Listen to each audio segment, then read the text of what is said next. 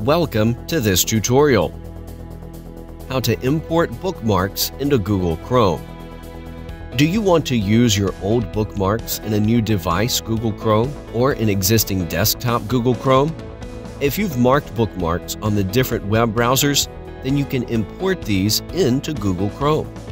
Keep in mind, when you're trying to import bookmarks in Google Chrome from different web browsers, then that browser should be installed if the browser is not installed, then you can import the bookmarks by using an HTML file.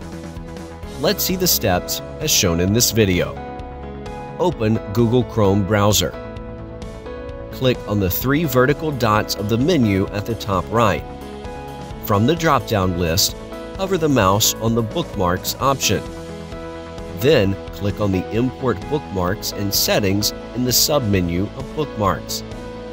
Under the Import Bookmarks and Settings, click on the drop-down list. This will show you a list of installed web browsers on your desktop. Select a web browser from which you want to import the bookmarks into Google Chrome. Make sure that the checkbox of Favorites Bookmarks is selected.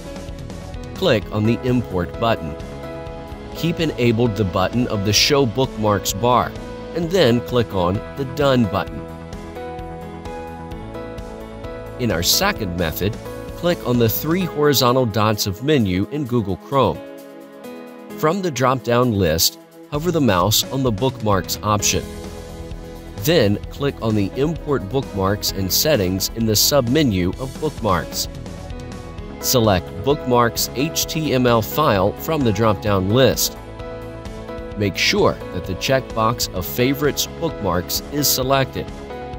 Click on the Choose File button select an HTML file from your save location, and then click on the Open button. Click on the Done button, and you'll notice that the bookmarks have been imported in the Bookmarks bar under the web address bar of Google Chrome. Wasn't that quick and easy? Thanks for watching. Please subscribe to our channel.